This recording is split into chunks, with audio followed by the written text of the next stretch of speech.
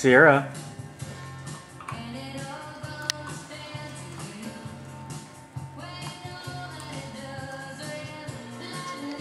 Hey guys, this is Terry. I wanted to give everybody an update on the uh, headliner deal that I've been working on. Um, I think on my last video I was working on laying it over the back of the cab. Well, that was kind of a pain in the butt to do that.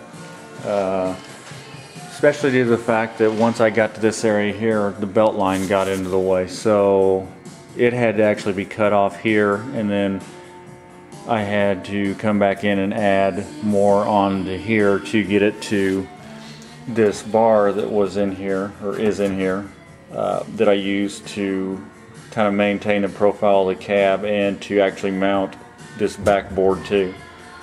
Um, so there's some body work involved.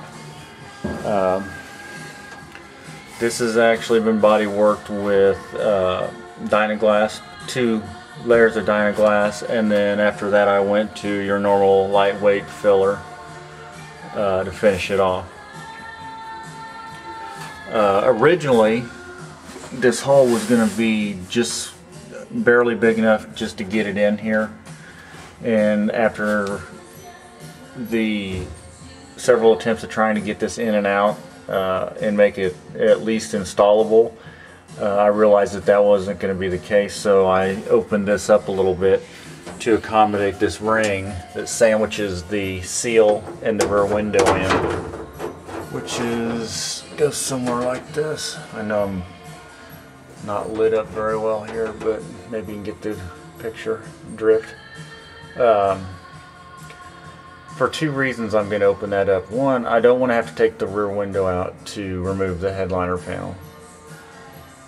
So that's mainly the primary reason. And then the installability of it uh, is the next one. Um, as you can see over here on each side, this side and that side's the same. That's what I had to do to get this to come to where I could get one side out or the other out to actually remove it. Uh, what'll end up happening is up here is once the window's installed, uh, I will make a tool and plasma cut a, a sleeve that will fit around here. It'll be split in the middle. It'll be covered with leather or maybe wind lace or something like that to slide in after the fact and finish and cover up any uh, any of the ugliness of this.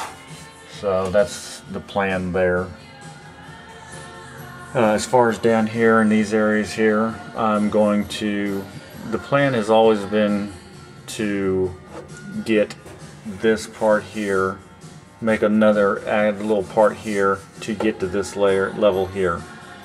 Um, this will be removable, of course, to get the headliner in and out. And it'll be fit along this area here and die off and be fit around here. And it'll have a 10 hundredths gap to allow for leather wrapping this way and leather wrapping around this part. Uh, it'll have, there'll be a left and a right, obviously, for this side and that side. Um, but yeah, it's not very easy to get it in and out. Uh, it's doable and that's good enough for me. Uh, my next goal will be to start to get this fit, make sure the contour is going to be right at the back with where what this contour here is. Make sure it doesn't look whopper jawed when everything's said and done.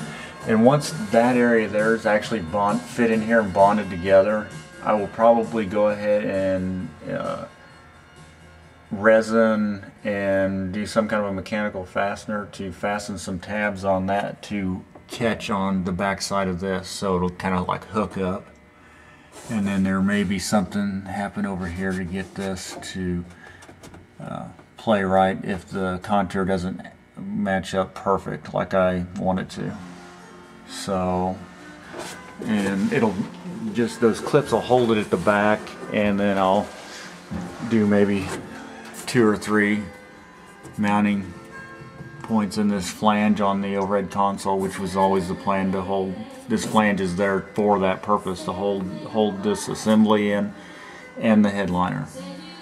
So Any hoozle, that's where I'm at. Um,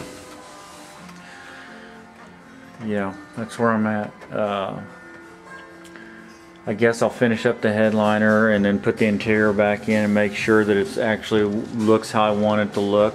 And then we'll move on to uh, start finalizing some of the numerous things that I've left for we'll do later uh, areas. Um, like finalizing some of the gaps on the hood and the doors and I think I'm going to weld this a little bit better along in here. I'm, it will en- eventually end up being seam sealed. Uh, I got just a lot of stuff. Everywhere there's a piece of tape is something that I need to revisit. So start doing that. Take the take the motor out, take it, disassemble, and start doing the body work part of it, and get moved towards finishing it up. I'd like to have a rolling, uh, completely painted and rolling chassis with the motor back in, the wheels and tires back on by the end of this year. And then next year, just do the, the body, finish up some body work on the cab and the rest of it and paint it and, cause it won't take long to put it together.